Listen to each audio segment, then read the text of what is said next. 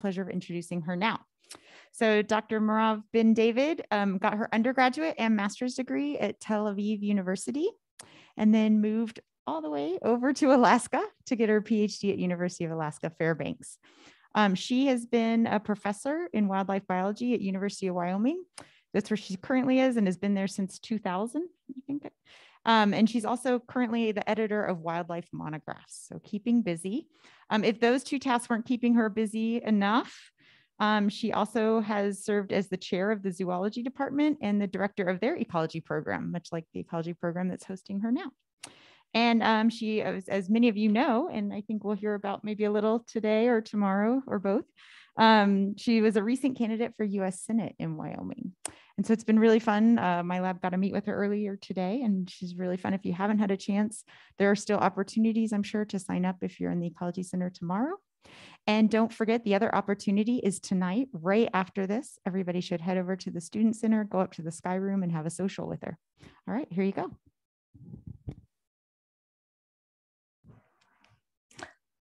Thanks, everybody. It's a pleasure to be in Logan again. People keep asking me if I've ever been here before, and the truth of the matter is that I have on various occasions, including to give a seminar here back in early 2000 when I collaborated with Jim Haefner on some evolutionary um, genetics projects. So it's a pleasure being here again. I'm glad the rain stopped and we could see some sun. Um, I don't know how long I would have been able to send, withstand the rain. um, I'm going to tell you a story about a button.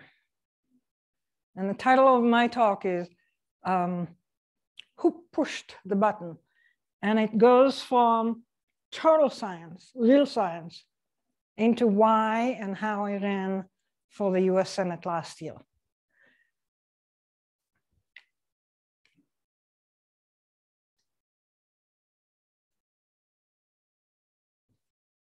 You're looking at the North Pole over time. And your system is not working very well. There it goes. Supposed to be smooth, but we'll take what we get, right?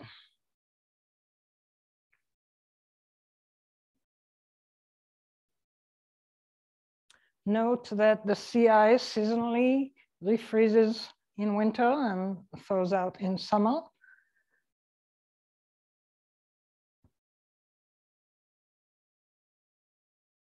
And this is what we have seen in the last few decades, a severe decline in the extent of sea ice in Arctic Ocean.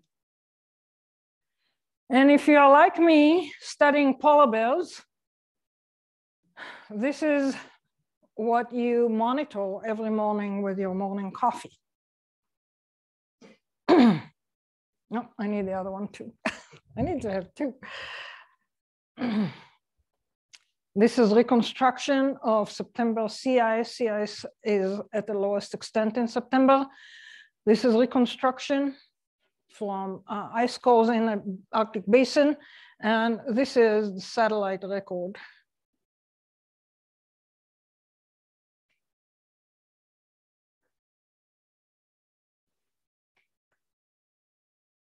So when you study polar bears, you're really interested in body condition. And we all know from our own personal experiences that body condition is a function of energy intake, energy intake minus energy expenditure. And if you ever looked online, I don't know if you have, um, you will find out that the best way to lose weight, what most of the uh, expert recommend is do a treadmill workout. That will burn most of the calories that you ingest.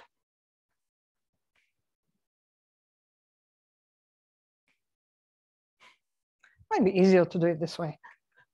Okay, so when you are human, our goal is to reduce our body condition because we have susceptibility to several diseases associated with overweight diabetes, uh, heart condition, uh, a few others.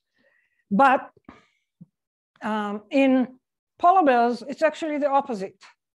Polar bears, for polar bears, they need to maximize their body condition. For polar bear, good body condition looks like this. So really, polar bears need to increase their energy intake and decrease the energy expenditure.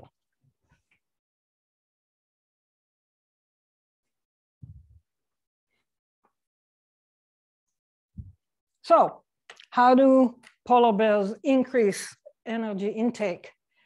Polar bears are ambush hunters.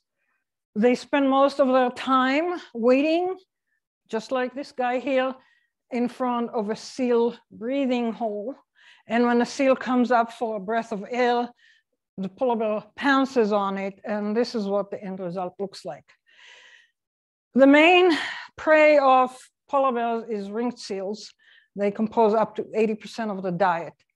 Some bears, especially the large males, making sometimes uh, catch and feed on bearded seals and sometimes even beluga whales. And in the Chukchi Sea, uh, walruses are a big uh, prey item, especially the larger uh, individuals for males. Next. polar bears, so just to give you an idea, this is a ring seal. Um, this is a bearded seal. Bearded seals are much, much bigger than ring seals. And polar bears tend adult non-breeding polar bears, non-pregnant and lactating polar bears usually tend to eat mostly the blubber. Um, basically because they want to increase their body condition. They don't bother with the protein. Uh, a lot of times you'll find these carcasses on the ice, and what you'll see is that juvenile polar bears um, follow the adults that make the kill and eat the blubber, and they consume the rest of the carcass because juvenile polar bears, independent bears are not as good as catching at catching seals as the adults, but also uh, they need protein to grow. So they make take uh, advantage of this. And you'll also see a lot of Arctic foxes, sometimes all the way near the North Pole, which is incredible. Um, this is, by the way, what the polar bear's uh, uh, wet dream is, a seal coming up the hole. Next. Oh, before you go next, uh, go back. Uh, colleagues of mine, uh, Stirling, Ian Stirling and Øritsland, back in 1995, uh, estimated based on kill rates. They followed polar bears and they looked at how many uh, seals a population of polar bears killed. They estimated that an adult polar bears uh, need to catch a year 29 seals. Uh, if they only eat the blubber, they'll need 36 of them. Okay, keep that number in mind. We'll get back to it later. Next. What you'll see when you study seals um, is that seals are mostly available to polar bears during April, May, and June of every year, a little bit into July. In April, May, and June, uh, ringed seals especially, and also bearded seals, uh, have their pups. And so they're tied to specific locations on the ice that they can uh, leave the pup in a den. I'll show you a picture in a minute. And then the mother comes in and nurses the pup while um, um, uh, not foraging. And shortly thereafter, they all adults, males and females, stay on the ice and molt. They, like our dogs, they change their fur every year. Uh, so in July, what you see mainly are molting seals. When they molt, they don't like to jump in the water because it's so cold and the fur provides some insulation in addition to the blubber. So seals are more available in July. So keep in mind that April, May, June, and July are the main months where polar bears can increase or actually even have energy intake. That's why they need to get so fat because then they have to go through the whole summer where uh, they can't get many seals, they're not available. And uh, in the winter, when the ice returns and seals uh, can, the polar bear can reach them, uh, they don't hold, the seals don't hold out because the water is warmer than the, uh, the air over the ice. So April, May, June, July are the feeding months for polar bears. Next. Uh, to show you what a ring seal then looks like, Here is the mother's breathing hole. She creates a little cave in the snow above the ice, and she gives birth to a very tiny, cute uh, seal pup. This is what a such a layer, we call them, look like when a polar bear pounced on it. And this is what happens when the polar bear gets the pup. Usually they don't actually eat the pups. They wait for the mother to come to nurse the pup and then they pounce and get both of them and eat the mother. And the Arctic foxes eat the pup. Next. Turns out that seals are also restricted in their movements, not just seasonally available, but also spatially. Um, the Arctic Ocean is extremely deep. It's about 3,000 meter deep. And uh, there's very little light entering the ocean, very little productivity. And most of the life in Arctic Ocean happens on the continental shelf. This is where productivity is. This is where fish are. This is where seals are. And this is where polar bears can get seals. So if there's no ice over the continental shelf, even in spring, there will be no seals and there will be no food for polar bears. Next. Every time I give this talk, people immediately imagine Arctic Ocean as this immense expanse of solid ice. This is not true. It has never been true in the entire history of ice in the Arctic Ocean. What really ice in the Arctic Ocean looks like is the following. Basically, you have big, big plates of solid ice that is broken, sometimes with big um, um, um, the word escaped me, but um, big breaks in the ice. Sometimes you have expanses of, of open water with, with icebergs on them. This is how the ice has always been in Arctic. Next. Um, basically, like any other ocean, the Arctic Ocean has currents, tides, and wind. And all of these move this big body of water around. I'll show you an illustration in a minute. And that movement breaks the big chunks of ice into um, uh, pans, some of them large, some of them small. The word I was looking for was leads. And so there are always chunks of ice that drift and move in the Arctic Ocean. Now to watch this, we will and actually end up, can I have the mouse for a second? Thank you. Because uh, that somehow does not want, oops. escape play this. Should have used my laptop. okay, tomorrow we will do open. Thank you. what? It doesn't want to play it. Let's do my laptop. Yeah. You guys mind if we take five, let's in five minutes and set it up through my laptop? Because you need to see this and the other videos.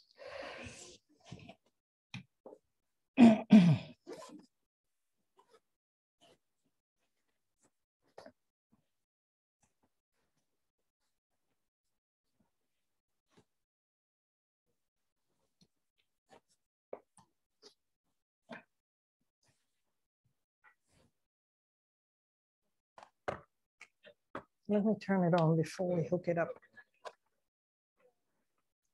I was telling Greg, um,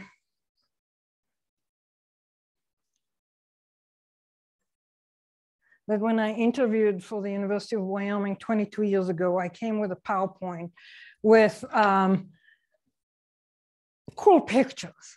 I put a lot of work into that presentation. I got to the University of Wyoming and I had absolutely no capabilities to play my job talk.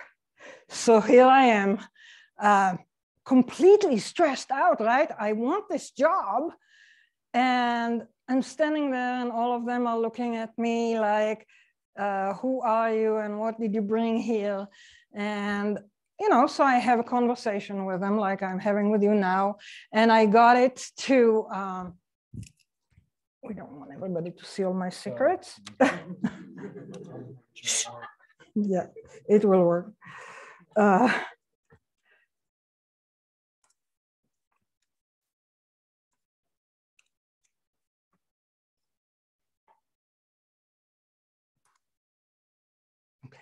can you undo this? Mm-hmm. Stop the recording. Oh, we won't be able to record. Never mind. Um, should still be able to record it's gone. Right. Okay. Close the presentation and eject my hard drive. Don't save. Close this. Eject. Okay.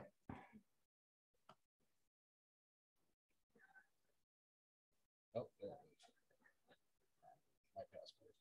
yeah. Okay.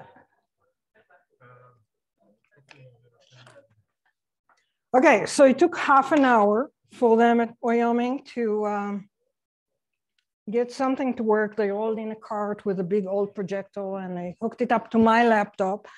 And I gave my talk and left town and knew that I blew it. I'm not going to get that job, you know? And then two days later, I get a phone call and they said, Oh, we would like to offer you the job. And I'm like, Whew. They said, You know why you got the job?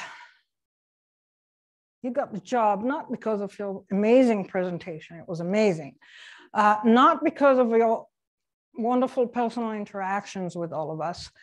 You got a job because you didn't lose your cool for half an hour while we got your presentation going. If you could handle that in a job talk, you're ours. So, and that's where I've been for the last 20 years. So there you have it. Uh, now we are gonna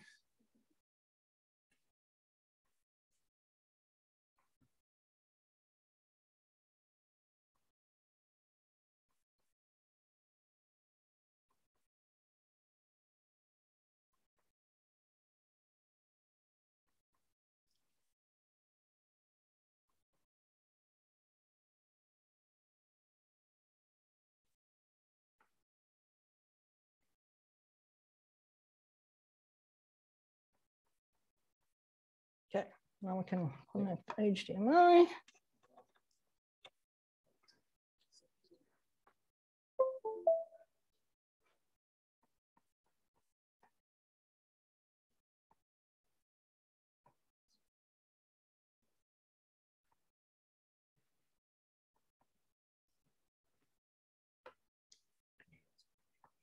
you can.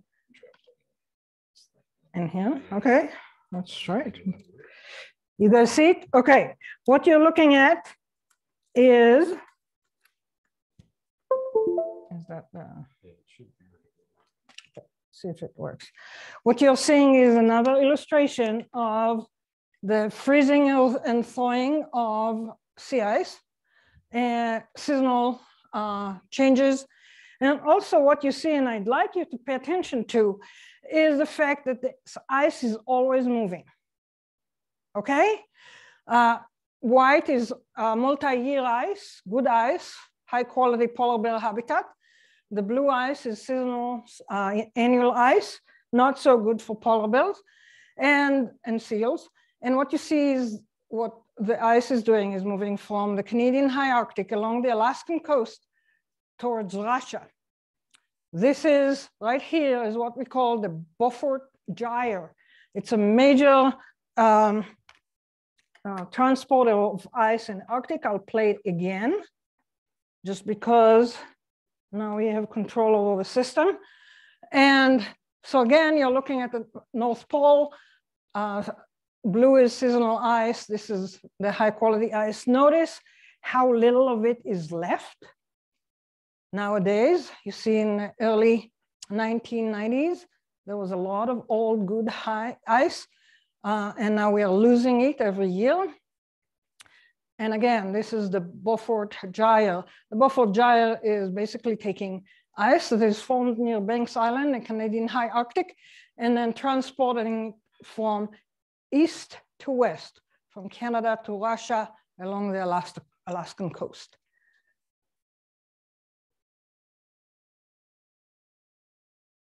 Two thousand twelve was the worst year in Arctic and it hasn't been much better since. Okay.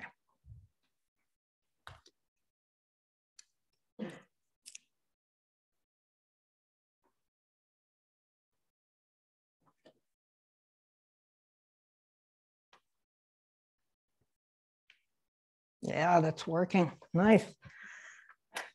Got it. Okay.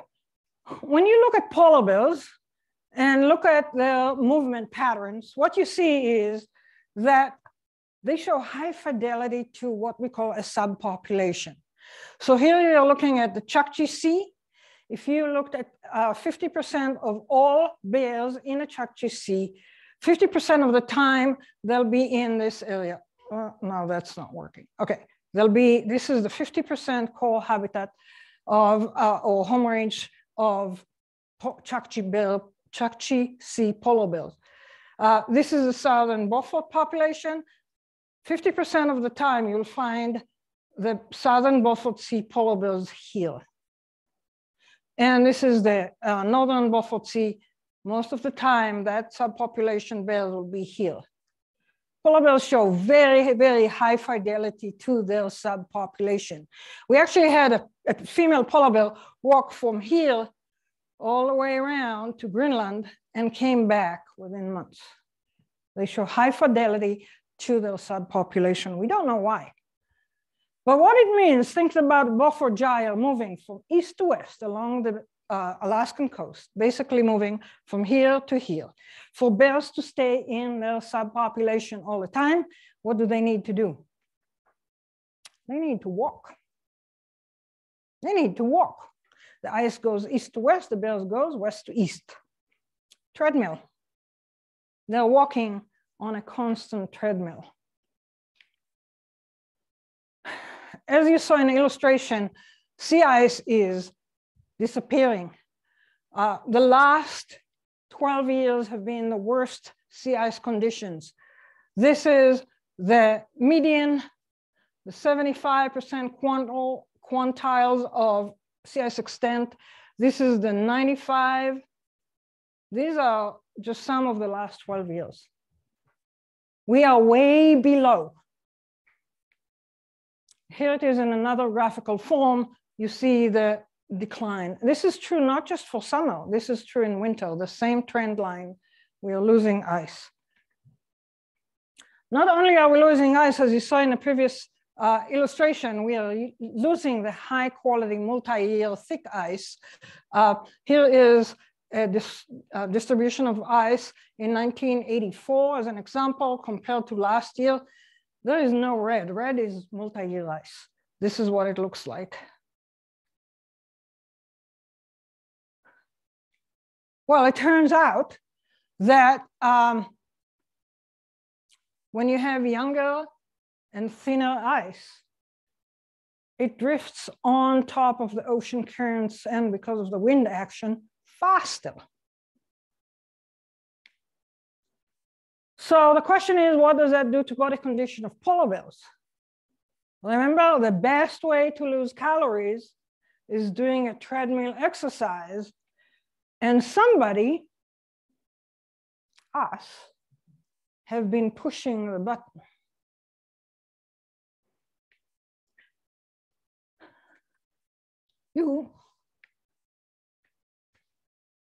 Ah, it took time to load.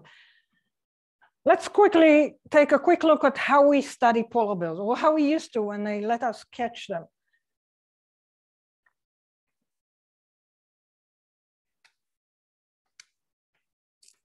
it is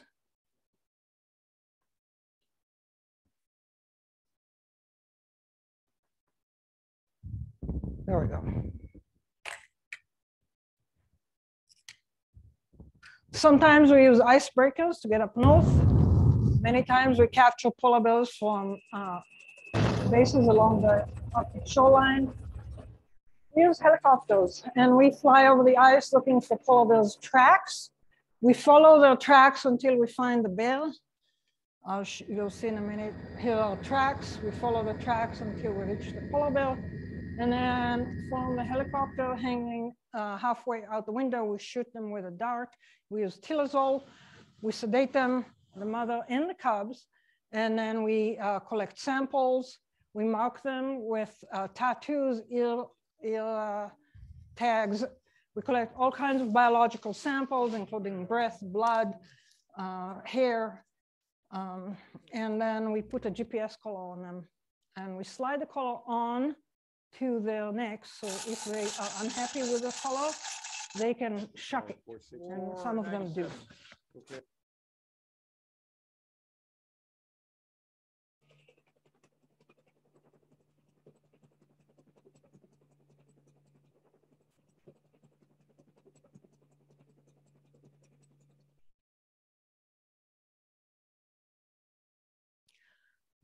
You can imagine we collected a lot of data points. The white points are where we actually captured the polar bears, and these are the southern Beaufort Sea and the Chukchi Sea bears.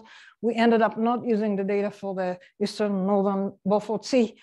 You can see we have a, a lot of data points. Um, and basically we use these data to uh, evaluate how much the bears are walking on this ice treadmill. One thing that is important to note, unlike when you track um, elk or moose or chipmunks, is that you have to correct the, the, telemetry track for the ice movement. So we got the ice movement vectors, how fast and what direction. And here is the, that Beaufort Gyre. I told you it's a major ice exporter in the Arctic. Um, you take the uh, bear movements, the telemetry track, which is in gray, corrected for the ice movement, the blue, to get the actual bear movements, okay? Um, we did that for two time periods. Uh, the one is what we call the early satellite era from 87 to 98. Uh, and then the later season, 99 to 2013. And we chose 98 as the breakoff point because that's what the uh, oceanographers uh, determined was the switch, the regime shift in the Arctic in terms of ice uh, behavior. And that's why we chose this as a break point. What you see here is the ice movement in the Beaufort Sea and the Chukchi Sea. Uh, the rate is in kilometers per day. The solid bars are the early period and the same uh, color but light shading is the later period. This is ice movement. And you see that ice is drifting faster.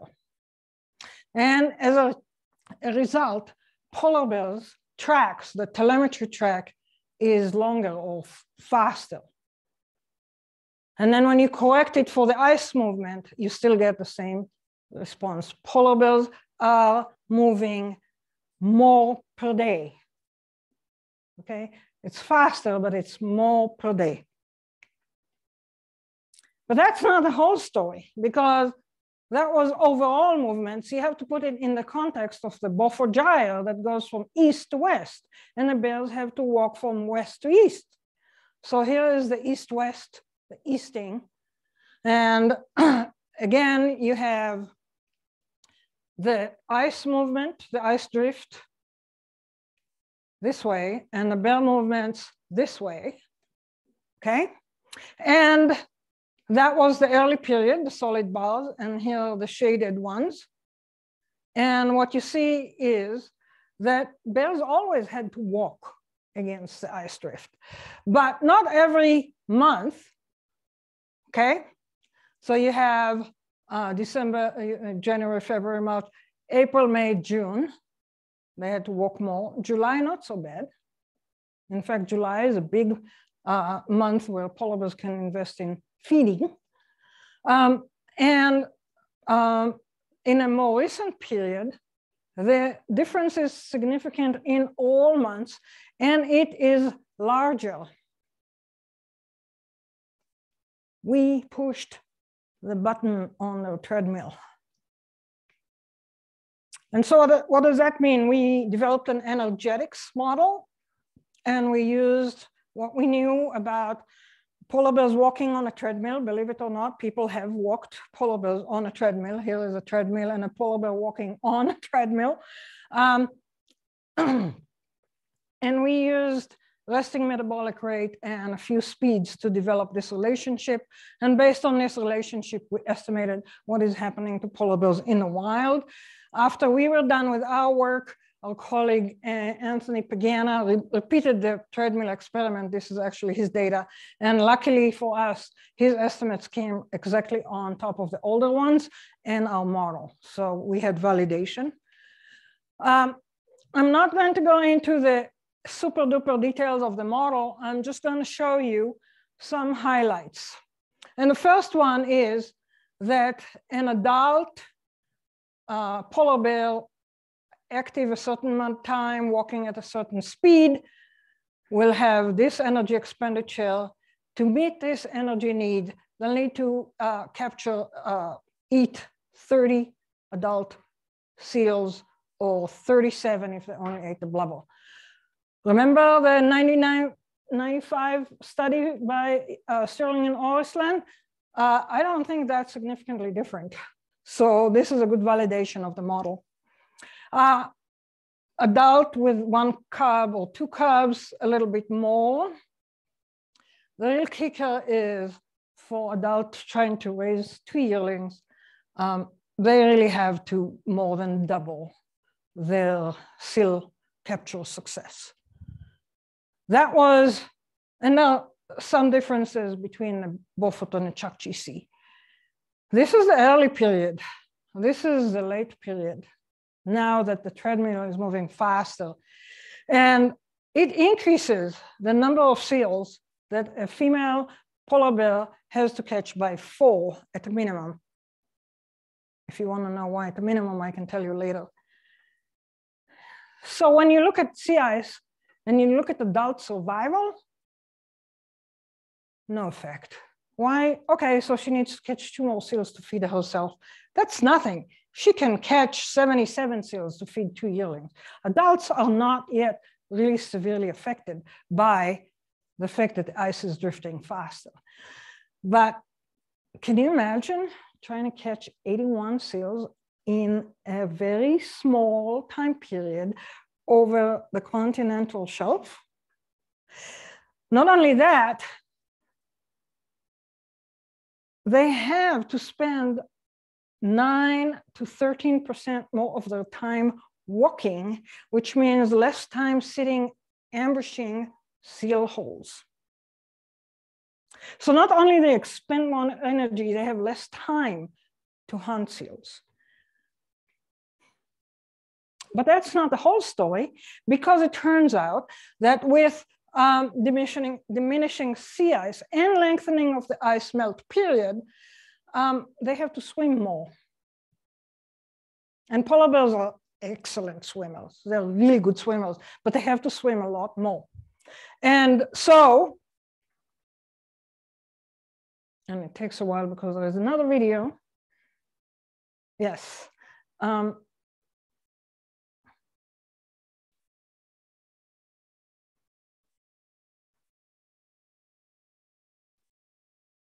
okay. So please watch. This is a bear that we put a GPS on and we caught her at Point Lonely in, uh, on the Alaskan coast, not far from Prudhoe Bay. And after two days on sitting down and waiting, uh, she started swimming and she disappeared. We didn't get any satellite uh, response from her. We thought she chucked the collar and it fell into the bottom of the ocean, which they do. Um, but then suddenly she popped up she popped up 11 days later. So this is a bear that swam from the coast to the edge of the, of the ice 11 days straight. No rest, no feeding, no drinking, no sleeping, nothing. She swam 11 days, made it to the sea ice, and I'll play this video again. Um, by the way, this bear is in the Guinness Book of Records. Uh, she made it in. So here she is living point uh, lonely. These are uh, GPS locations. she made it to the, she stayed on a little iceberg after nine days. And then after a couple hours, she continued swimming, made it to the ice edge and rested for a long time. Um, then she uh, started going uh, back south with the reforming ice. Uh, she went down and she was going to Canada and we went, oh my God, no way.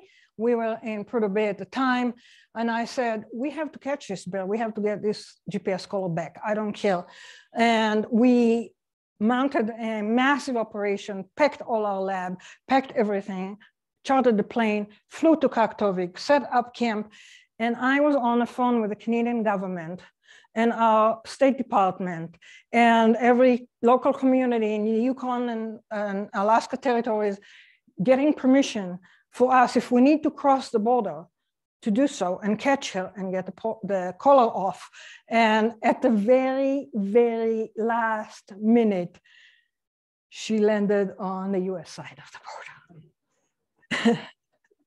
and we were able to fly a helicopter, catch her, get the collar, and that's why we have such a full track. But that was an indication for us that if we lost contact with a bear, it doesn't mean that the collar is gone or that the bear died. It means that maybe they're swimming. So my our colleague, uh, Anthony Pagano, uh, took a look at that data and, and if we can move over one slide. Um, yeah, turns out that polar bears swim more. Not the short distance swimmers, but long distance, long distance, hundreds of kilometers swims. And when? Nowadays. So swimming costs a lot more than walking. So what does that mean? Means that polar bear body condition is declining. And we see more and more and more of these bears that are maybe medium sized body condition, medium body condition, to actually animals that are starving. We find that younger polar bears have reduced skull size, reduced body length, uh, cub size at birth is smaller and cub survival is minimal. Of all the polar bear cubs that I got to hold or sample or whatever, only two survived to two year old and none survived to adulthood. And that translates to declining populations. Unfortunately, the last analysis that were done uh, in Canada and the US ended in 2010. Guys, that's 11 years ago. Uh, polar bear populations are still declining. Not in all parts of the range, because in the Canadian high Arctic, we still have good polar bear habitat, but in many, many subpopulations, we see severe population effects. So what should we do? Well, my colleagues uh, did a very massive and interesting uh, modeling exercise of what will happen to sea ice. If we don't do anything, we're gonna not have sea ice. And we don't have sea ice, we don't have polar bears. But if we meet the Paris Climate Accord commitments, which were made for 2020, hello, that was last year, we may not recover sea ice for a long time, but we can at least reduce its decline. We, stay, we can stabilize it. Now we are long past these commitments. 2020 was last year, that was a pandemic year, right? And, um, um, and we overshot it by a lot. And that is what pushed my button. This is a picture of me right there the captain of the Polar Sea, that icebreaker we used. This is Greg Marshall from National Geographic. The video you saw, National Geographic, that's his. It's October 31st, Halloween, 2009. Not even the worst sea ice year in the Arctic. Remember the last 12 years, the ice was the worst? Halloween. The Polar Sea is cruising at nine knots. We are near the North Pole. We're in the middle of the Arctic Ocean. Am I wearing a hat? No. Am I wearing gloves? No. Am I zipping my coat? No. So while we're talking about one and a half degrees warming, globally, the Arctic has warmed seven and a half degrees centigrade so far. And this year, in the Laptev Sea, this year, near Wrangel Island, Siberia, the temperatures were warmer than they were in Logan, Utah. Today, I have a hat in my coat, and I was considering wearing it a couple times walking in between buildings. It's warmer in the Arctic now than it is in Logan, Utah. That pushed my button. And why should you kill? Why should anybody kill? I don't care about polar bears. What do I care about polar bears? I want to know about Britney Spears' husband or father or whatever it was. Right? We need to care because we are humans. And it's not polar bears that are at risk. We are at risk. We know about hurricanes, flooding. Did you see the flooding in Germany? Did you see the flooding in China? Did you see the flooding in Turkey? Did you see the flooding in Tel Aviv? I bet you didn't. But you have seen the smoke. We are getting more extreme fires most frequently. This is my favorite picture of the fire right south of Laramie, the Mullen fire, the largest fire in Yellowstone, in Wyoming's history since the 1998, 1988 fires in Yellowstone. I couldn't breathe. It was a huge fire. So we need to care because we are at risk.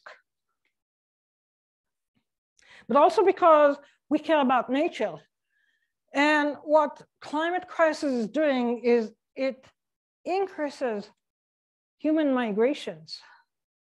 Starving people are not going to sit there and watch their kids die, as they unfortunately doing right now in Mad Madagascar, if they can walk.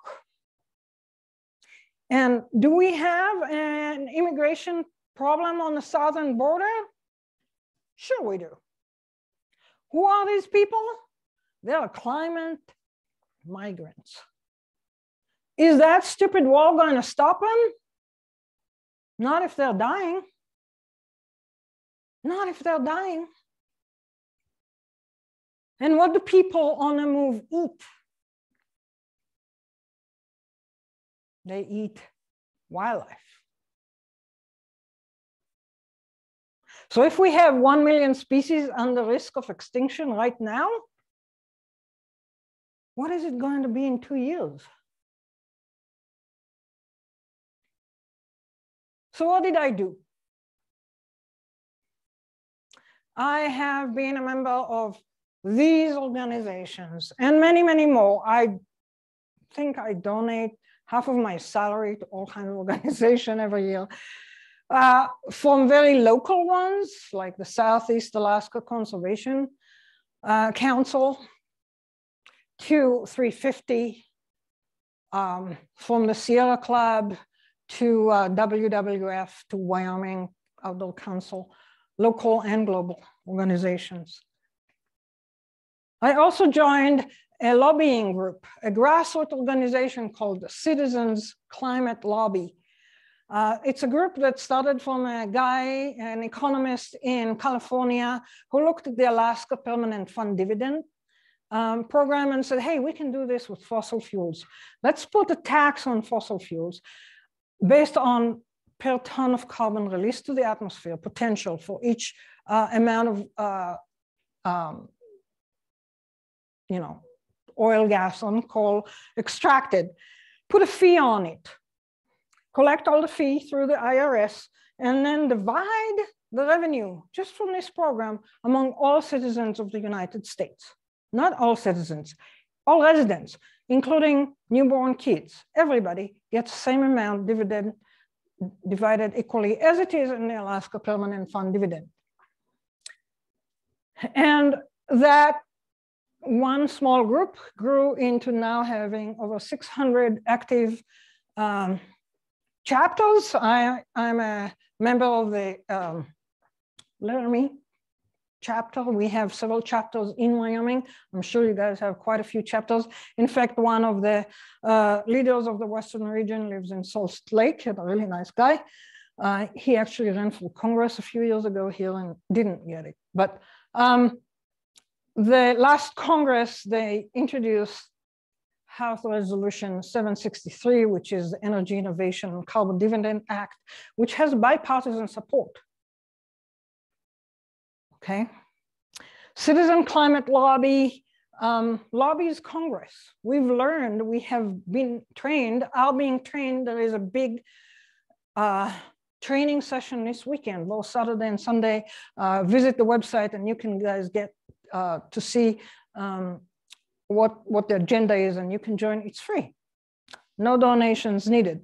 Um, the idea is that this Energy Innovation and Carbon Dividend Act um, will reduce uh, carbon emissions uh, by 40% over the next 12 years. Actually, this was last in 2019, so now we're talking about 10 years, if the law passes. And I've been very active in the group, still am. And then I realized that it's not enough. Because even when you look at senators like Sheldon Whitehouse, who's a big proponent of both um, HR 763 and also is a big uh, advocate for climate action. Every Wednesday night, he would stand on the Senate floor and give an hour and a half presentation on the effects of climate change on Utah on the ski industry, on hydrology. He had a whole segment on Wyoming. Nobody listens to him. Nobody knows about these presentations. When he sits at a table, uh, people ignore him because what does he know? Can you imagine someone like me sitting in a White House at the negotiation table talking about climate change and the effects of climate with what I bring to the table and tell me no? Sitting across Joe Manchin. Can you imagine him telling me, I don't care about climate change? I want to see that.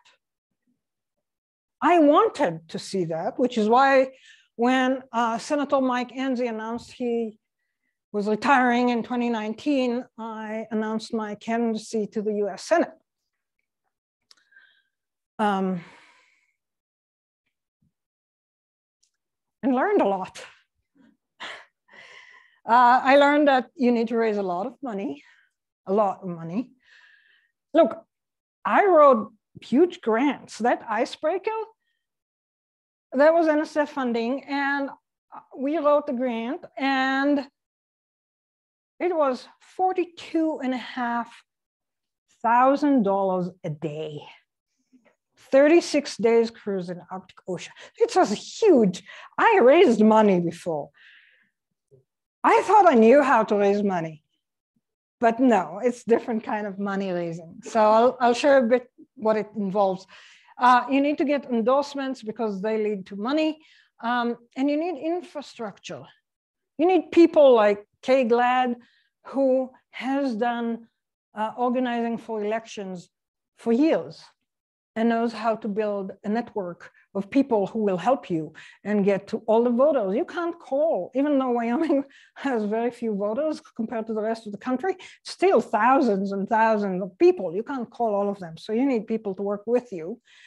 Um, and then you need to take your message and make it engaging and relevant. What I've learned is that running for office, you need to have experience and expertise, at least helping you. Um, we couldn't have events because it was, hey, COVID, right? Um, so a lot of it was emails, phone calls, social media, and endorsements. And we raised more than half a million dollars doing that. A few statistics. Um, we raised, so this was ActBlue, people donating online. We got, the rest was people sending checks. People, not all people are comfortable donating online. Um, the average total contribution was 18 bucks. We had 26,000, well, actually the total with the checks was 28,000 people donating to our campaign. 28,000 people committed to us.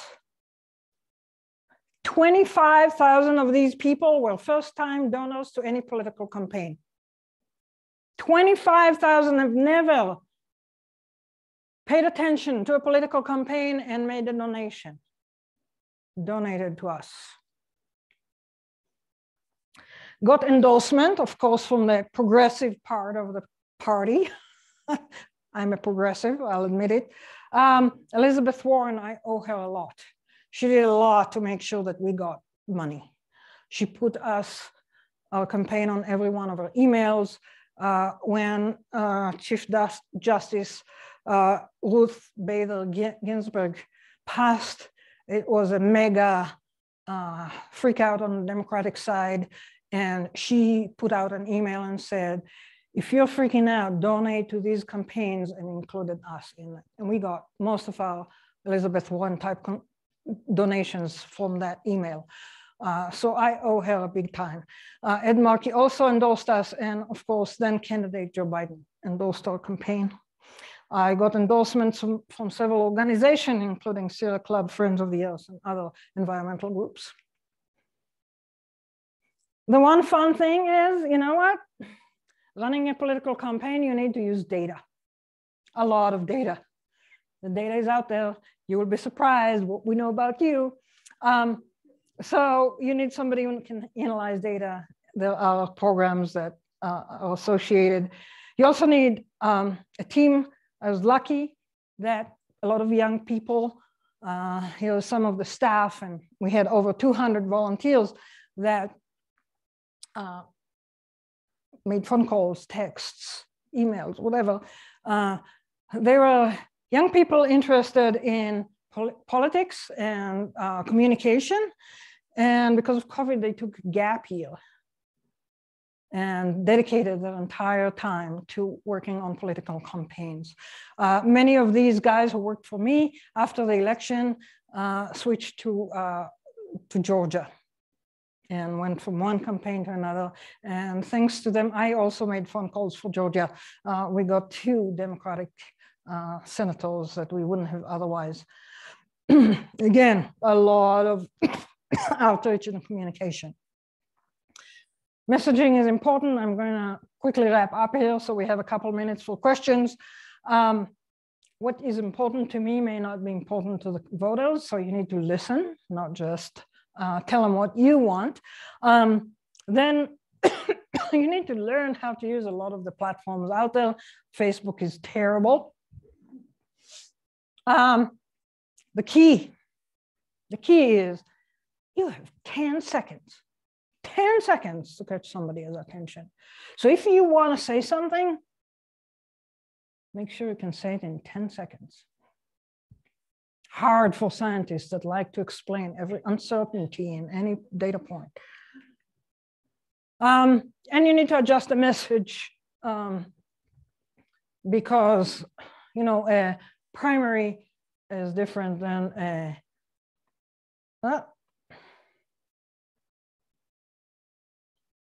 I have to do this because this is silly. this is my campaign manager. He was phenomenal um, uh, messaging expert. And he is the one who came with, you know, we need scientists in the US Senate. So science in the Senate was our main message okay, okay. We saw that. Uh, another uh, important thing is debates and being able to stand up to the competition. This is from the televised PBS uh, primary debate, which was easy. And then uh, I went to who is now an insurrectionist senator, uh, Cynthia Lummis, who voted against certification of the election results. And let's not go there. Um, so, should we all run for Senate? Office? Um, hell yeah. um, actually, very few, very few people um, that are scientists are in any political position of influence, which is ridiculous. Um, if you look at the lists, even Mark Kelly, uh, he's an astronaut. He has a science background, but he's not a scientist. Um, um, none of these, if you look at my publication record and these publication records, they have none. Uh, I do have a Google Scholar account. Um, most of them are nurses, doctors, physicians, not real scientists.